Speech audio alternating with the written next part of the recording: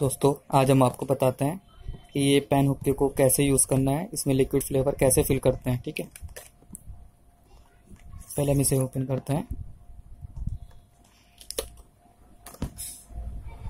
ये सी four pen हुक्का जो कि इसकी लाइट है, अगर आप इसे बंद करना चाहते हैं तो इसे पाँच बार प्रेस कर देंगे तो इस तरीके से लाइट डिपर करेगी और ये शट डाउन हो जाएगा। अब आप कितना ही इसे प्रेस कर लें वर्क नहीं करेगा।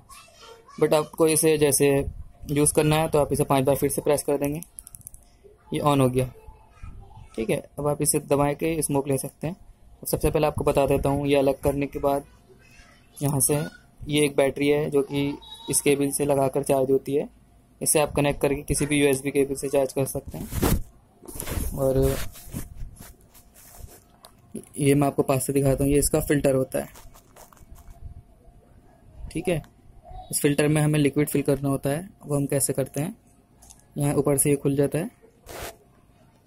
इसे खोलने के बाद ये आपको एक टैंक दिखता है। ये बीच में आप ध्यान से देखिएगा, एयर होल होता है। इस पर लिक्विड नहीं आना चाहिए। ये जो हम लिक्विड फिल करते हैं, इसे सिर्फ़ हम साइड में फिल करेंगे।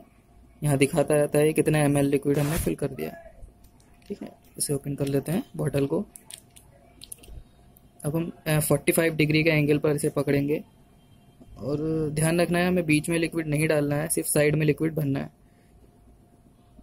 हम थोड़ा सा इसमें लिक्विड फिल कर देते हैं। अब इसका हम कैप को टाइट से लगा देंगे। टाइट हो जाएगा। अब इसे हम पेन से कनेक्ट कर लेंगे। इसमें थोड़ा सा आप देख सकते हैं लिक्विड फिल हो गया है। अब हम इसका स्मोक लेकर देखते हैं।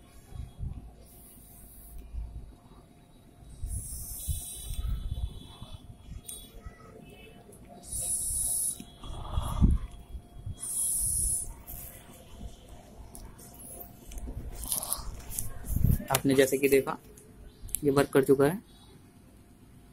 ठीक है?